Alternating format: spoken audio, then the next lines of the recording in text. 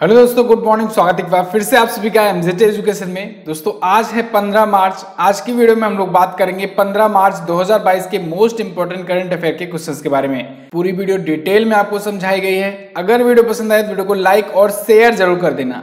Channel पर नए आए हो चैनल को सब्सक्राइब करो बेल आइकन को प्रेस करो, जिससे आने वाली वीडियोज़ का नोटिफिकेशन आप तक पहुँचता रहे। इस वीडियो की पीडीएफ फ़ाइल और डिटेल्स के साथ क्विज मिलेगी आपको हमारे एप्लीकेशन एमजेटी ऐप पर। तो गूगल प्ले स्टोर पर जाइए और एमजेटी ऐप डाउनलोड कीजिए। वहीं पर से आप हमारी ई बुक्स ले सकते हैं, वीडियो कोर्सेज को भी प्राप्त कर सकते हैं।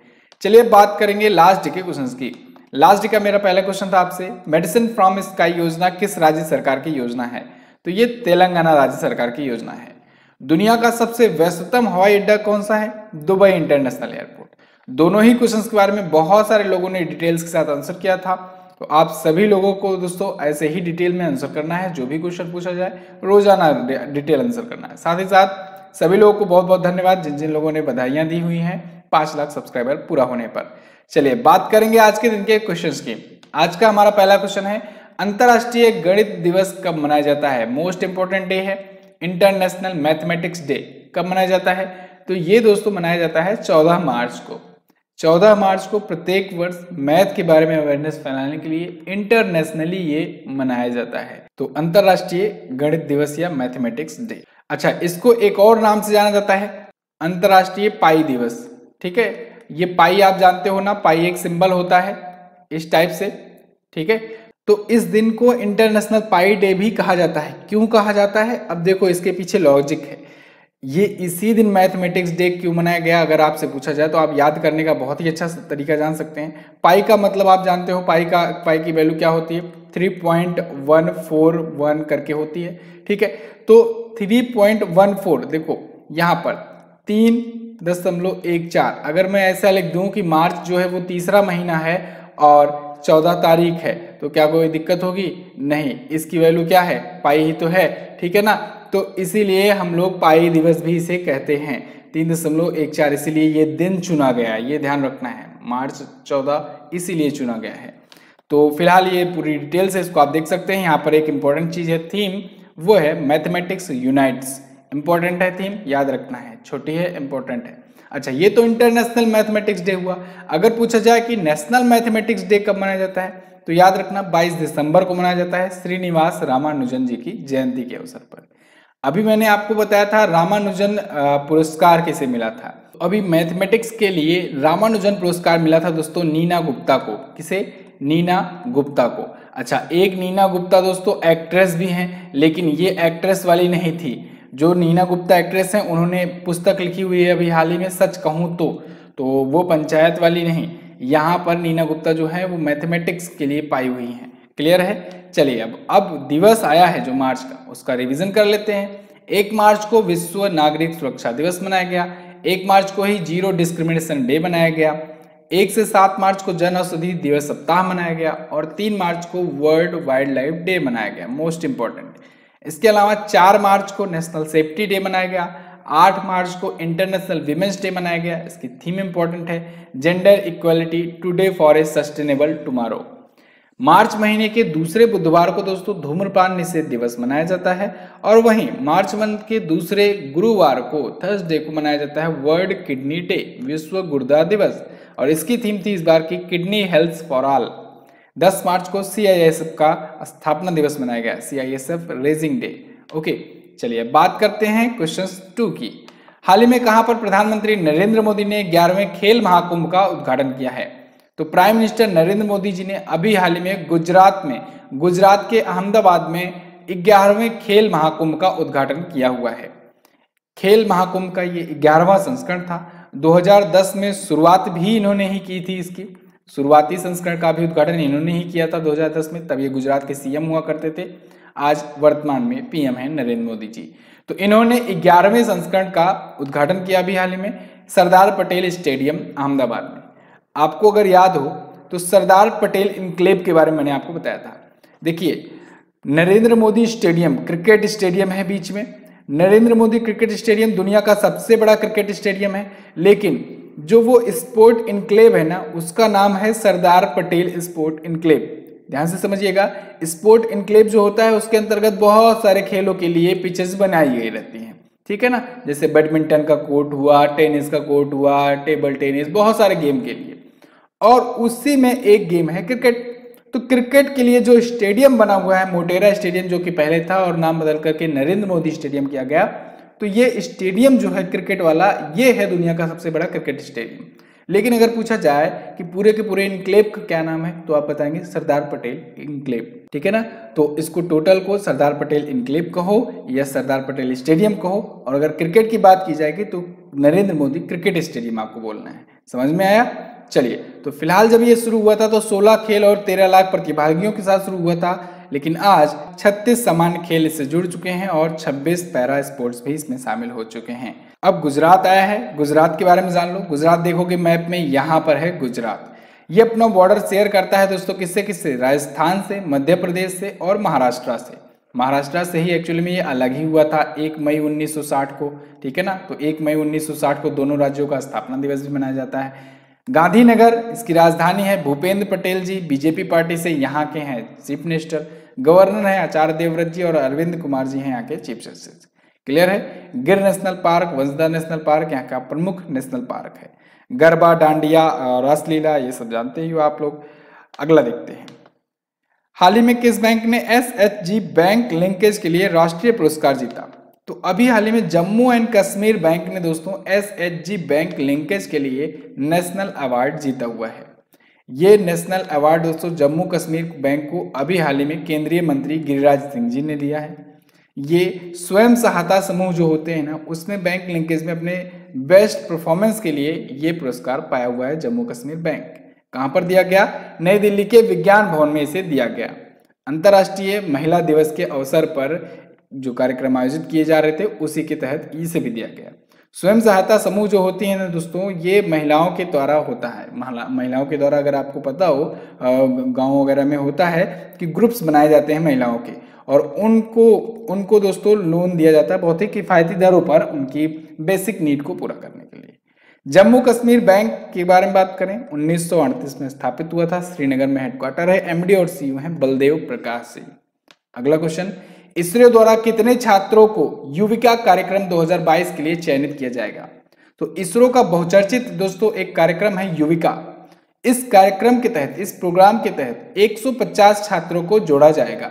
ये 150 छात्र जो होंगे, एक ग्रामीण सेक्टर से होंगे, खास करके ग्रामीण छात्र होंगे, युवा छात्र होंगे और शहरी से भी इसमें शामिल किए जाएँगे। ऐसा कोई बाउंडेशन नहीं है कि शहर वाले नहीं शामिल हो सकते। युविका है क्या? युविका दोस्तों? युवा वैज्ञानिक कार्यक्रम। फिर से, युवा वैज्ञानिक कार्यक्रम, यानी यंग साइंटिस्ट प्रोग्राम। तो ये 16 से 28 मई 2022 के बीच में आयोजित किया जाएगा। दो सप्ताह तक चलने वाला ये प्रोग्राम है, इसरो का प्रोग्राम है। इसका मेन पर्पज यही रहेगा कि जो यंग साइंटिस्ट हैं, जो फ्यूचर साइंटिस्ट हैं हमारे, जो यूथ है, उनको कैसे स्पेस साइंस के बारे में बताया जाए, स्पेस टेक्नोलॉजी के बारे में बताया जाए इनके बारे में जो भी इनको बेसिक नीड है बेसिक जो इन्फॉर्मेशन है, उसको प्रोवाइड किया जाए, जिससे ये जान सके कि कैसे क्या होता है। ठीक है? तो इसरो के द्वारा ये शुरू किया गया है। इसरो आप जानते हो, भारत का स्पेस एजेंसी है। तो इसरो का full form Indian space research organisation स्थापना कब हुई थी? 15 अगस्त के दिन हुई थी, उन्नीस सौ उनहत्तर में। हेडक्वार्टर कहाँ पर है? बेंगलुरु में इसका हेडक्वार्टर है। और अभी एस सोमनाथ जी इसके नए बने हैं अध्यक्ष। तो एस सोमनाथ जी का भी नाम आपको याद रखना है। अगला क्वेश्चन, हाल ही में जीआई टैग प्राप्त कश्मीर के कालीन को कहाँ के लिए रवाना किया गया? तो अभी हाल ही में जीआई टैग प्राप्त कश्मीरी कालीन को दोस्तों, जर्मनी के लिए रवाना किया गया है। जर्मनी भेजा गया है कश्मीरी कालीन को। कश्मीरी कालीन दोस्तों, बहुत ही खास प्रोडक्ट है। कश्मीर का हाथ से बनाया जाता है मैन मेड होता है, ठीक है? तो हाथ से बुना गया ये कश्मीरी कालीन, इसको थोड़ा सा और ग्लोबलाइज किया जा रहा है। जर्मनी भेजा जा रहा है। इसे जीआई टैग मिल गया था 2016 में ही। तो 2016 में ही कश्मीरी कालीन को जीआई टैग मिला था, ये पॉइंट भी आप याद रखिए। अच्छा इसमें क्यूआर कोड सिस्टम ऐड कर दिया गया है। इससे क्या होगा? इससे दोस्तों, इस क्यूआर कोड को स्कैन करने के बाद इसकी पूरी डिटेल्स मिल सकेगी। कहाँ पर बनता है, कैसे बनता है प्रोसेस क्या होता है, या इसकी खासियत क्या क्या है। सारी चीज़ें इसमें मिल जाएगा प्राइस वगैरह। तो इससे ब्लैक मार्केटिंग नहीं हो पाएगी इसकी। और बेसिक काम भी यही होता है जीआई टैग देने का कि ब्लैक मार्केटिंग ना हो, उसका प्रमोशन किया जाए ग्लोबलाइजेशन किया जाए, ठीक है? तो यहाँ पर क्यू आर कोड सिस्टम भी इसमें ऐड कर दिया गया है, जिससे कारीगर, निर्माता, बुनकर, जिला, सब कुछ इसमें डिटेल्स रहेगा। फ़िलहाल जीआई टैग आया है तो जीआई टैग को समझो। जीआई टैग मतलब जियोग्राफिकल इंडिकेशन टैग जब कोई प्रोडक्ट एक ऐसा प्रोडक्ट हो जिससे उसकी ख्याति इतनी बढ़ जाए कि जिस वजह से वो प्रोडक्ट की वजह से वो पूरा पूरा एरिया पहचाना जाने लगे तो फिर उस प्रोडक्ट को जीआई टैग दे दिया जाता है। सरकार सोचती है कि उस प्रोडक्ट को क्यों ना ग्लोबलाइज किया जाए और ज़्यादा ब्रांडिंग की जाए। इसके अलावा उसकी ब्लैक मार्केटिंग को रोका जाए। तो इस वजह से जीआई टैग दे दिया जाता है, ठीक है? तो कश्मीरी कालीन, देखिए, कश्मीरी कालीन हो गया तो अब यहाँ से पता चल रहा है आपको कि कश्मीर में ये कालीन जो होता है, वहाँ का वो फ़ेमस होता है। इसकी और ज़्यादा ब्रांडिंग की गई, चर्चे में आया, ठीक है? तो लोग वहाँ को खरीदने का प्रयास करेंगे और फिर वहाँ के जो जो किसान होंगे, जो मजदूर होंगे, जो इससे रिलेटेड होंगे, उनका, उनकी अर्थव्यवस्था भी सुधरेगी। इन सब कारणों से दोस्तों उन्नीस सौ निन्यानवे में एक्ट लाया गया था। 2003 में ये एक्ट बना। उन्नीस में एक्चुअली में बिल लाया गया था। 2003 में ये बिल एक्ट बना। 2004 में पहली बार दोस्तों दिया गया जीआई टैग किसे दिया गया है, ये आप कमेंट करके बताओगे। ओके, चलिए बात करते हैं अगले क्वेश्चन की। जीआई टैग पर वीडियो बनी हुई है। आपको सर्च करना है simply G GI tag MJT education मिल जाएगी वीडियो कई सारी वीडियो ठीक है ना? चलिए, फ़िलहाल हम लोग बात करेंगे जर्मनी की, क्योंकि जर्मनी भेजा गया है। जर्मनी से आगे बढ़ने से पहले, सबसे पहले तो दो पॉइंट रिवाइज कराना चाहूँगा। एक तो दुनिया की पहली हाइड्रोजन ट्रेन यही चलाया। इसके अलावा दुनिया की पहली ड्राइवरलेस ट्रेन ड्राइवरलेस ट्रेन ठीक है ना? ये भी चलाने वाला देश जर्मनी ही है। तो दो पॉइंट्स हो गए। जर्मनी एक यूरोपियन कंट्री है। बर्लिन, यहाँ की राजधानी है बर्लिन। ओके जर्मनी की करेंसी क्या होती है? यूरो होती है यहाँ की करेंसी। क्यों? क्योंकि यूरोपियन यूनियन का ये भी तो मेंबर है। शाम को ही तो बताया था मैंने भंडारे वाले सीरीज़ में आपको। यूरोपियन यूनियन का जो भी मेंबर होगा, उसमें उसकी करेंसी जो होगी, वो यूरो होगी। एक करेंसी पर ये लोग विश्वास करते हैं। जर्मनी के चांसलर अभी बने हैं। एडोल्फ स्कोल्ज एडोल्फ स्कोल्ज ये नए चांसलर हैं जर्मनी के। याद रखना है, पहले एंजेला मार्केल थी। अगला क्वेश्चन देख लेते हैं। ईपीएफओ e ने 2021-22 के लिए पीएफ जमा पर ब्याज दर घटाकर कितने प्रतिशत किया? ये इंपॉर्टेंट क्वेश्चन है। ईपीएफओ e ने दोस्तों 2021-22 के लिए पीएफ जमा पर ब्याज दर घटा करके 8.1 परसेंट कर दिया है। पिछली साल ये 8.5 परसेंट पर था, अब 8.1 परसेंट पर कर दिया गया है। ठीक है? और 2021-22 के लिए। ईपीएफओ e यानी एम्प्लॉयज़ प्रोविडेंट फंड ऑर्गेनाइजेशन जिसे कहते हैं कर्मचारी भविष्य निधि संगठन। इसने प्रोविडेंट फंड पर जो जमा पर ब्याज दर होती है, वो घटा दी है। पीएफ आप जानते हो ना, कटता है सैलरी से, सरकारी जो एम्प्लॉय होते हैं, उनकी सैलरी से तो फिर उसी की जो पीएफ जो कटता है तो उस पर जो ब्याज मिलती है, बहुत ही आसान लैंग्वेज में समझो, जो ब्याज मिलती है, वो ब्याज दर घटा करके 8.1 परसेंट अब कर दी गई है। पहले ये 8.5 परसेंट हुआ करती थी। क्लियर इसके बारे में और डिटेल में जानना चाहते हो? तो अभी दो तीन दिन पहले विपेन सर ने दोस्तों इसी चैनल पर आपको वीडियो दी हुई थी। इसके बारे में पूरा इन्फॉर्मेशन दिया हुआ था। डिटेल में समझाया हुआ था कि होता क्या है, कैसे क्या प्रोसेस होता है। ठीक है ना? तो आप जा करके देख सकते हो चैनल पर। फ़िलहाल आगे देखते हैं। अच्छा एक चीज़ और याद रखना कि पिछले चार दशक से सबसे कम वाला अभी अभी ये है इंटरेस्ट रेट पिछले चार दशकों में। इससे पहले उन्नीस सौ सत्तर में ये ब्याज दर थी 8.0 तो अभी 8.1 है। 40 सालों के बाद लगभग में ये पहली बार ऐसी सिचुएशन आई है, जब 8.1 परसेंट है। ठीक है? वरना इससे ऊपर ही रहा करती थी। अगला, हाल ही में एनएफआरए का अध्यक्ष किसे नियुक्त किया गया? तो एन नेफ्रा जिसे कहते हैं आम बोलचाल भाषा में, इसके अध्यक्ष नियुक्त किए गए हैं अजय भूषण पांडे जी। अजय भूषण पांडे यहाँ पर आपको दिख रहे हैं। ये नेशनल फाइनेंसिंग रिपोर्टिंग अथॉरिटी के होंगे नए अध्यक्ष। 1984 बैच के महाराष्ट्र कैडर के आईएएस इनको दोस्तों तीन वर्ष के लिए नियुक्त किया गया है। नेफ्रा होता क्या है? नेफ्रा दोस्तों बेसिकली ऑडिटिंग पैसे के लिए एक स्वतंत्र बॉडी के रूप में काम करता है। इस बॉडी का काम ये होता है कि कोई भी जो कंपनियाँ हैं, उसका फाइनेंशियल डिटेल क्या है, उसकी समीक्षा करना उनसे अगर ज़रूरत पड़े तो स्पष्टीकरण भी मांग सकना, ठीक है? साथ ही साथ उनका जो भी ऑडिट हो ऑडिट रिपोर्ट वगैरह, ये सब की जाँच करने और जो भी अगर मान लो उसमें कोई फॉल्ट पाया जाता है तो उसके लिए एक्शन लेने के लिए भी ये ये स्वतंत्र होता है मतलब इसको पावर मिलती है। तो उसके ये अध्यक्ष हैं Ajay Bhushan Pandey ji. RRB NTPC course के बारे में मैं आपको बताना चाहूँगा। RRB NTPC batch CBT two के लिए खासतौर से ये चल रहा है। तो जो student RRB NTPC CBT two की प्रिपरेशन कर रहे हैं, वो इस बैच को ज्वाइन कर सकते हैं। GK GS plus current affair special batch है। जाइए ऐप में एमजीटी ऐप में देखिए इसमें क्या क्या चीज़ें मिल रही हैं। ठीक है ना? हर एक वीडियो डिटेल में आपको समझाई जा रही है। बहुत ही शानदार तरीके से। टारगेट है 50 में 50 अगला, हाल ही में किस बैंक ने हैश लक्ष्मी फॉर लक्ष्मी पहल शुरू की? तो अभी हाल ही में एच म्यूचुअल फंड ने दोस्तों hashtag Lakshmi for Lakshmi पहल शुरू की है। ये महिलाओं के लिए शुरू किया गया है, स्पेशली इन टू इंड महिलाओं के नेतृत्व वाली ये वित्तीय सशक्तिकरण पहल है। इसमें होगा क्या समझिए? एक मिस गर्ल सेवा के रूप में ये काम करेगा। जो भी विमेन इन्वेस्टर होंगी, अगर उनको कोई मदद चाहिए होगी, कोई सा भी एडवाइस चाहिए होगा तो वो मिस कॉल देंगी। उनको फीमेल फाइनेंशियल एक्सपर्ट से ये कनेक्ट कराएगा, जो निकटतम होगा, निकटतम इसके ऑफ़िस में कनेक्ट कराएगा और वो इनके सवालों का जवाब देंगी। ठीक है? तो पूरा तरीके से ये एंड टू एंड महिलाओं पर ही बेस्ड है। इसीलिए इसका नाम रखा गया है हैशटैग लक्ष्मी फॉर लक्ष्मी पहल। ओके एच बैंक का ही दोस्तों एक यूनिट है HDFC mutual fund HDFC bank की स्थापना उन्नीस में हुई थी। मुंबई में हेडक्वार्टर्ड है और शशिधर जगदीशन इसके अध्यक्ष हैं। अगला क्वेश्चन किस केंद्रीय मंत्री ने virtual smart grid knowledge centre का शुभारंभ किया? तो अभी हाल ही में केंद्रीय मंत्री आर के सिंह जी ने, केंद्रीय ऊर्जा मंत्री आर के सिंह जी ने virtual smart grid knowledge centre का शुभारंभ किया हुआ है।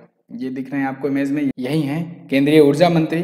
तो इन्होंने ही अभी हाल ही में virtual smart grid knowledge centre का शुभारंभ किया हुआ है। ये पावर ग्रिड के द्वारा डिज़ाइन किया गया है या इसी के द्वारा बनाया गया है।